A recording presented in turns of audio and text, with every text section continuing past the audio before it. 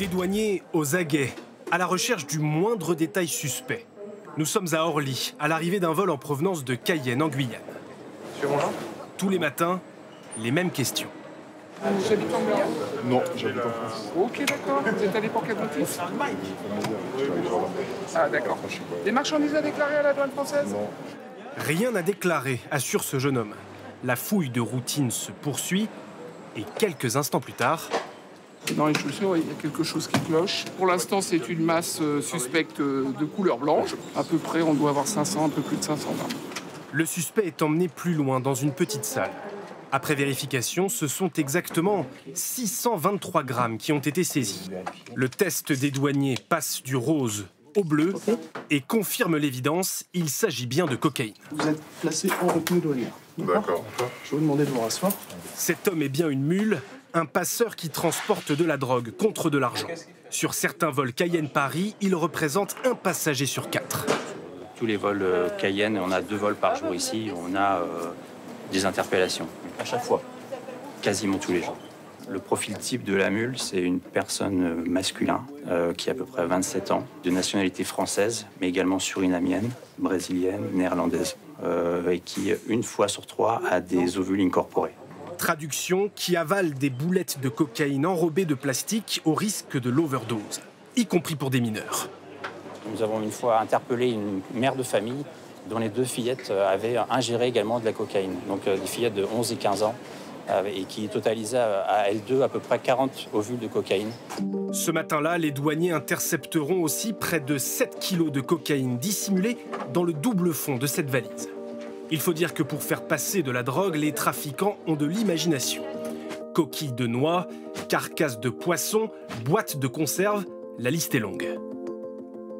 Pour comprendre les racines de ce fléau, il faut traverser l'Atlantique, direction la Guyane française.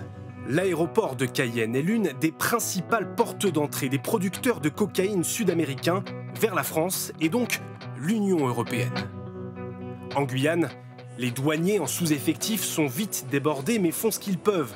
L'an dernier, 512 mules ont été arrêtées à l'aéroport pour une tonne et demie de cocaïne saisie. C'est aussi le travail de la police en ville. Cette nuit-là, la BAC de Cayenne patrouille à la recherche de ces fameux ovules de cocaïne. Regardez là par exemple, c'est là qu'on a fait les, les 4,5 kg de cocaïne. On est rentré à la poursuite d'un individu qui était recherché pour euh, de nombreux vols. Et on le voit en train de confectionner des ovules. Il avait l'appareil, il avait deux pains de, cocaïne. Il était en train de confectionner des ovules pour, euh, pour des mules. Pour eux, c'est devenu tellement banal qu'ils se promènent avec. Quoi. Cette fois-ci, les fouilles ne donnent rien. Mais dans un département où plus de la moitié des habitants vivent sous le seuil de pauvreté, les trafiquants de drogue n'ont aucun mal à recruter des mules.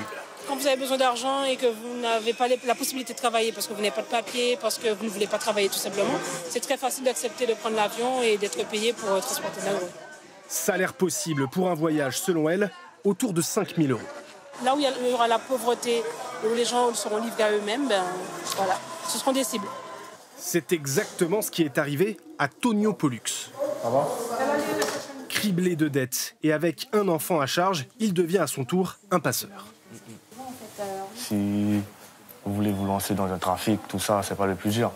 On a des contacts du Suriname, un peu partout. Il y a même des contacts euh, au Mexique. Le, le trafic, il est, il est grand, il est vaste. Il dit avoir gagné jusqu'à 16 000 euros pour acheminer 800 grammes de cocaïne à Paris. Il finit par être interpellé et purge un an de prison à Fleury-Mérogis. J'ai ouvert les yeux, en fait. C'est à ce moment-là que je me suis dit non. Durant mon incarcération, tout ça, je me suis dit non, c'est- pas ma vie, ça, en fait. C'est pas ma vie. Je peux pas faire. euh, je peux pas continuer dans, cette lancée, en fait. J'ai une famille, j'ai une fille. Si je veux qu'elle grandisse dans de bonnes conditions, il faut pas que son père soit absent. Depuis quelques mois, une association l'accompagne dans sa réinsertion. À 27 ans, il a aujourd'hui trouvé du travail dans un magasin de plomberie.